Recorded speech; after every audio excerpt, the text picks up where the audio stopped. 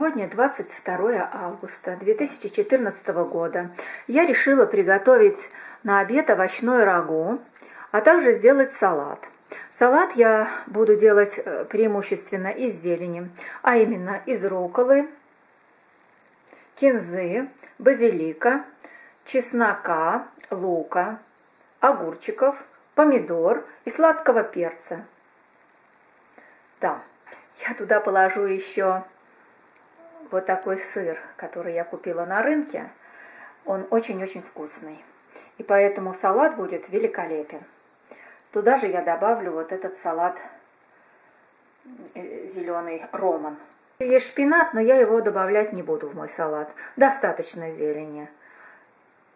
Потому что базилик, кинза, рукола, сельдерей, салат роман – это достаточно. К тому же я положу туда сыр, брынзочку. В салат я добавлю огурцы и помидоры. Салат будет очень вкусным, ароматным, поскольку я приправлю его специями. И специи у меня тмин, черный перец, паприка, душистый перец и кориандр. Вот они у меня молотые уже и пересыпаны в баночки специальные. В салат я добавлю немножко сыра, который я купила сегодня на рынке. Он очень вкусный и ароматный.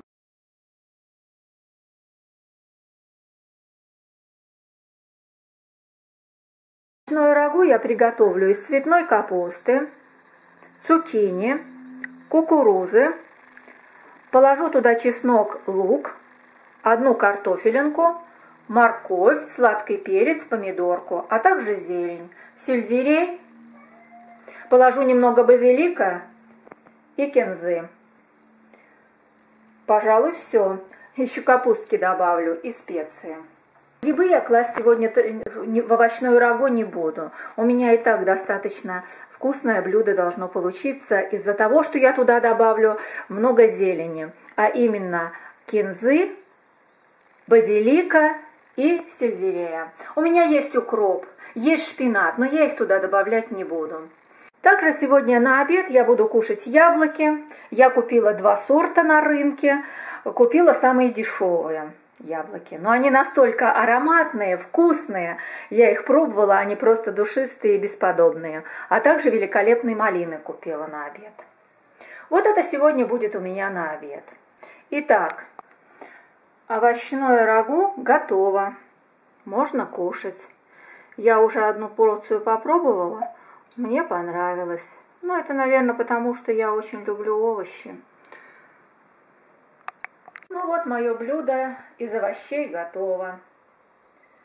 Отчетливо видно цветная капуста, перчик, кукуруза, кабачки, цукини, зелень. И я ложила белокочанную капустку. Буду с песто кушать. И в это мое овощное рагу я себе в тарелочку добавлю еще вот такую тайскую пасту –